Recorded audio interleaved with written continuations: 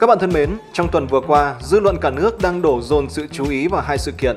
Đầu tiên là việc phanh phui sự thật rúng động về tỉnh thất bồng lai và sư thầy Tokoda Lê Tùng Vân. Sự kiện thứ hai là màn giới thiệu 5 mẫu xe điện của VinFast tại triển lãm quốc tế CES 2022 và việc VinFast tuyên bố từ nay chỉ làm xe điện, đoạn tuyệt hẳn với xe xăng.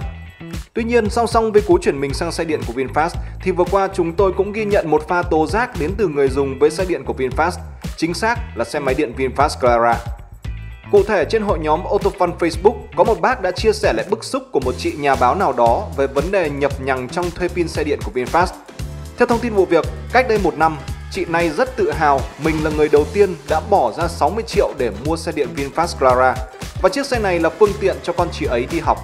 Đồng thời chị ấy đã ký hợp đồng thuê hai viên pin và đặt cọc 2,4 triệu đồng cho đại lý thay vì mua đứt pin của xe điện. Tuy nhiên sau 3 tháng sử dụng, khi cháu đang trên đường đi học thì xe bị khóa từ xa và khi chị gọi lên tổng đài thì mới biết rằng xe chưa nộp phí thuê bao pin hàng tháng và được nhân viên giải đáp thêm rằng do xe chị mua là đợt đầu nên chính sách chưa được hoàn thiện. Sau đó để giải cứu chiếc xe, chị đã phải cắn răng đóng thêm phí thuê pin là 700 ngàn cho hai viên pin. Đồng thời chị cũng chia sẻ nhiều sự bất tiện trong quá trình đổi pin và thanh toán tiền thuê pin. Thậm chí có lần quên đóng phí, chị đã phải đứng giữa đường và hủy bỏ cuộc họp.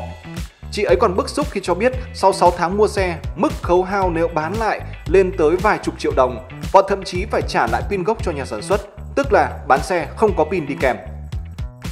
Quá cay cú nên chị ấy đã tuyên bố Việt Nam nói là làm, tôi nhất định sẽ vứt con xe máy điện này vào một ngày đẹp trời sắp tới. Ai muốn trải nghiệm sở hữu một của nợ cảm giác như thế nào thì inbox tôi, tôi sẽ báo địa điểm vứt xe.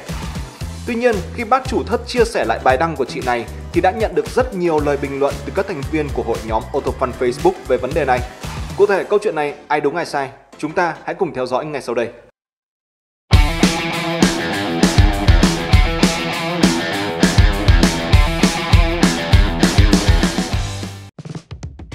Đầu tiên thì có mấy bác lo rằng bài này sẽ sớm bị xóa.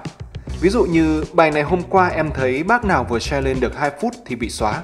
Hay là thấy mấy topic về bài này biến mất rồi cơ mà. Còn ba bác khác lại thủ thỉ với nhau rằng thế này thì phải gác lòng yêu nước sang một bên, hoãn việc đặt xe điện sắp tới thôi.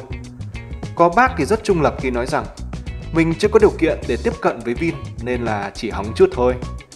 Tuy nhiên, Giữa làn sóng nghi ngờ thì có mấy bác lại chắc chắn khẳng định rằng Ai tin thì cứ tin, tao không tin là không tin thôi Hay một bác thì nói rằng Gì cơ, mỗi ngày đưa đón con đi học mà vòng cũng gần 100 km nội thành Hà Nội Thì cô mà chết à? Nói điều à? Một bác khác thì nói rằng Đã được 9 phút rồi cả à? Admin group này mua xe Vin ầm ầm nên là đủ hiểu mà Đáp lại thì có một bác nói rằng Đọc tin thì không nên đả kích, áp đặt suy diễn sau đó thì có một vài bác cũng đưa ra quan điểm như sau. Tôi không đi xe máy điện, nhưng hàng xóm nhà tôi đi có thấy kêu ca gì đâu. Hay một bác còn nói rằng, tôi đọc hết bài, không có nhận định gì. Vì tại sao? Đây chỉ là thông tin từ một cái miệng của một người phụ nữ, rất cần có sự kiểm chứng. Tôi thấy xe máy điện chạy rất nhiều ở đường, chắc ai cũng như chị này thì họ chắc kinh khủng lắm. Ngay lập tức đã có một chị trong hội phụ nữ lên tiếng rằng Sao bác không nói là chỉ là thông tin từ một phía, chỉ là thông tin từ một người, mà lại nói chỉ là thông tin từ cái miệng của một người phụ nữ thế bác, cười nhạt. Và cái cuộc tranh luận của hai bác này cũng được hẳn 18 cái like và ha ha. Còn một bác thì lại lôi cả xe xăng vào so đo như sau. Thì cũng giống mấy bác tiên phong Lux SA ăn quả 1 tỷ 9, bây giờ thì còn tỷ 3 tỷ 4 thôi. Trả lời bác trên thì một bác có nói nếu là tiên phong đầu tiên thì giá cũng là 1 tỷ 2 tỷ 3 bác nhé. Khi xe ra công chúng rồi mới bán 1 tỷ 9 trong vòng một tháng. Bác nói thì phải chuẩn. Và những đợt đầu còn được tặng cả voucher nghỉ dưỡng đi bốn quanh rồi. Còn gửi cái giấy mời đi vượt Hà Giang, Đà Nẵng miễn phí nữa cơ.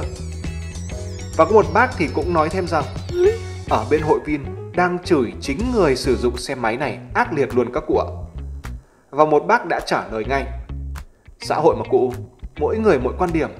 Chưa kể có những người vì lý do hay suy nghĩ cá nhân nào đó làm sai lệch nội dung đi. Giờ đọc báo cần phải có kiến thức.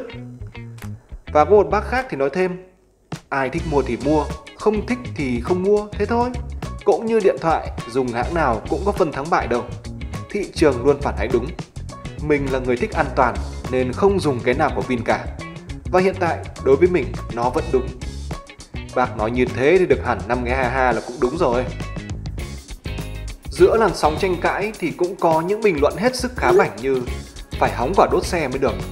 Hay một bác còn đổ thêm dầu vào lửa khi nói rằng ủng hộ chị để đốt xe, phản đối nếu sự thật đúng như chị trình bày. Có thể là chính sách bán xe cho thuê pin và có vấn đề thật thì cần phải kêu lên. Chính sách bán xe cho thuê pin không làm được tử tế thì hôm nay là xe máy điện, mai kia là ô tô. Tôi vẫn ủng hộ VinFast và cần VinFast xử lý cho tốt hiện tại và tương lai. Tuy nhiên, chẳng để cho dư luận xì xào quá lâu thì có một chị gái đã từng mua xe điện Clara đứng ra nêu ngay những điểm bất cập trong bài đăng đàn của chị nhà báo như sau. Chị này nói rằng, em cũng mua xe máy điện của Vin và bác chủ tốp tiết kiệm không mua đứt pin thì số tiền ban đầu bác mua xe không phải là 60 triệu. Tiếp tới, bác chấp nhận thuê pin, chứng tỏ là khi mua xe bác không mua pin nên lúc bán xe bác không có pin. 60 triệu là đã bao gồm cả pin, nếu có voucher sẽ giảm còn 50 triệu cả pin. Xe đi 200 km mới hết điện thì đi học đi làm khoảng 4 ngày mới phải sạc cơ mà. Chưa kể loại này có sạc nhanh ở các điểm. Mà con em mua là con Felix dùng ắc quy trì ấy chứ. Em mua là em xác định mua đứt dù pin hay là sạc. Không có chuyện là thuê hay mượn. Và thuê thì có định kỳ tiền đi, lười sạc thì phải chịu thôi ạ. Con em mua niêm yết là 24 triệu 9, giảm voucher mất 10 triệu còn 14 triệu 9, giảm thêm 2 lít từ bạn bán hàng còn 14 triệu 7 nhà sản xuất báo chạy được 90 cây ở chế độ Eco. Ngày em đi làm cả đi cả về hết 20 cây, em đi 4 ngày thì sạc. Và em thấy ổn. Chứ chấp nhận thuê thì phải định kỳ hàng tháng là đúng rồi còn gì mà bác chủ tốc kêu. Sao bác không mua pin và mua sạc về đứt đi vào xong, chủ động sạc hơn. Đồng tình với quan điểm của chị gái trên thì một anh cũng nói Em thấy Hà Nội có tới 1.000 cái xe này chứ ít đâu Bác này là người nhìn nhận thực tế hơn cả này Đáp lại, chị gái này nói rằng Em là người mua và đang dùng mà. Con em mua là con Felix Nó có dùng ắc quy trì chứ chưa dùng pin lithium như con Clara. Mà em mua đứt sạc chứ không thuê gì cả Thì em thấy ổn và chủ động mà. Xe điện dùng đi nội đô để đi học và đi làm. Ngày em đi 20 cây, cả đi về 4 ngày em sạc một lần qua đêm là đầy pin. Đi xe ổn, êm, khỏe chứ không có yếu. Đi chế độ eco em còn leo được hai tầng hầm để xe chỗ làm chứ đừng nói con Clara khỏe hơn con em đang đi nhiều chứ bộ. Đã tiết tiền mua pin thì xác định thuê pin phải trả đúng định kỳ là đúng còn gì nữa. Người ta chấp nhận trả online mà bác lại không trả online, muốn trả tiền mặt thì phải chấp nhận thôi. Khó là khó từ bác chứ do gì chính sách đâu. Do chưa biết về vụ thuê pin này nên có một bạn gái khác liền đặt câu hỏi là Thế bây giờ mua xe điện lại có cả thuê pin ạ? À? Sao lại không mua đứt luôn, lại mua kiểu thuê pin vậy bác nhỉ? Thì chị này trả lời rằng Thuê pin thì có lợi là pin có hư thì không phải lo, đổi pin khác, chỉ vậy thôi. Một người khác cũng nói Với dòng pin lithium thì Vin có chính sách thuê Thuê thì không phải lo sạc Hết pin ở đâu thì alo nhân viên giao pin tới Thay rồi lại chạy Tuy nhiên là phải tuân thủ chính sách thuê pin của Vin Và còn muốn chủ động thì mua đứt luôn pin dùng được lâu mà phải chục năm mới thay. Mua về thì nhà sạc hoặc là chủ động sạc tại trạm sạc nhanh. Chị gái này lười lại còn tiếc tiền hơn chục triệu mua pin thì phải chấp nhận chính sách thuê, và thuê định kỳ thì phải trả tiền thôi. Đến đây thì chị gái kia đã hiểu ra vấn đề nên bình luận rằng Nói chung là thuê pin sẽ không tốn điện, không lo pin hỏng và không phải trả tiền một cục mua pin. Có điều không tuân thủ chính sách định kỳ thì bị khóa. Thế thì viên đúng chứ các bác nhỉ? Mấy bác sau cũng gật gù nói rằng Ờ thì đúng rồi, chính sách nó nêu rõ là có ép bác ý thuê đâu. Mà chấp nhận thuê thì phải biết rõ định kỳ để đi đóng tiền. Quên và bị khóa là do bác ấy. Điện với nước mà người ta quên người ta còn cắt nữa là. Với cả bác chủ tốt đang nói sai về giá cả. 60 triệu là phải bao gồm mua cả pin Hơn 40 triệu mới là mua xe không có pin rồi. Đồng tình với quan điểm của bác trên thì có một bác cũng nói rằng Em cũng mua xe máy điện của Vin và em biết là bác này đang nói sai. Thứ nhất, bác ấy mua mất 60 triệu thì sẽ không phải thuê pin vì 60 triệu là bao gồm cả pin cả sạc. Nếu mà có voucher giảm giá thì giảm tiếp 10 triệu, còn thuê thì phải xác định rõ là thuê theo tháng hay theo năm. Trên web của Vin nói rất rõ, tiếp tới thuê đến hạn thì phải thanh toán tiền thuê tiếp để dùng, không thì họ khóa, thế là đúng còn gì. Bác dùng không trả thì nhân viên bị trừ lương các bác ạ và cả hệ thống ai hơi đâu đi tìm bác đòi tiền thuê pin. Tiếp tới giờ cái gì cũng thanh toán online được, điện, nước, đồ ăn thì việc trả tiền thuê pin online cũng rất tiện. Chẳng qua là bác chủ tốt kia không cập nhật, thích trả tiền mặt thì đúng. Em mua con Felix còn dở hơn cả con này vì dùng ắc quy trì và số km chạy được tối đa là có 90 cây. Nhưng em thấy ổn, em đi làm ngày 20 cây, đi 4 ngày sạc một lần. Em đi xe máy 4 ngày đổ xăng một lần. Con của bác chủ tốt dùng pin chạy được nhiều km hơn con của em mua ấy. Chẳng qua là bác chủ tốt tiếc tiền không mua được pin chọn thuê nhưng định kỳ lại không thanh toán hoặc là cảm thấy chật vật khi thanh toán online chứ không phải là do chính sách thuê đâu. Thuê thì phải chấp nhận theo chính sách, còn thấy không tiện thuê thì mua đứt về tự chủ động sạc ở nhà. Nhỡ trên đường mà ịch một cái thì vào cây cắm sạc 5-10 phút lại chạy được 10-20 cây, thế cho nó chủ động. Có một bác khác thì lại nói rằng Thế hóa ra là 60 triệu ban đầu là tiền mỗi cái xe lại không bao gồm pin à? Một bác thì lại hỏi Vụ khóa xe từ xa là sao các bác? Thế hóa ra đi thuê xe trong khi lại mất tiền mua Có một bác thì nói rằng Em nghĩ là kiểu nhân viên tư vấn không tới Chứ làm khách hàng mua xe không mua pin thôi. Và lại có một vài bình luận khám bảnh Ví dụ như hỏng đốt xe. Có một chị thì lại nói rằng là Lại thành chị của Ngô Bà Khá đây bác Đốt là đi tù luôn đấy.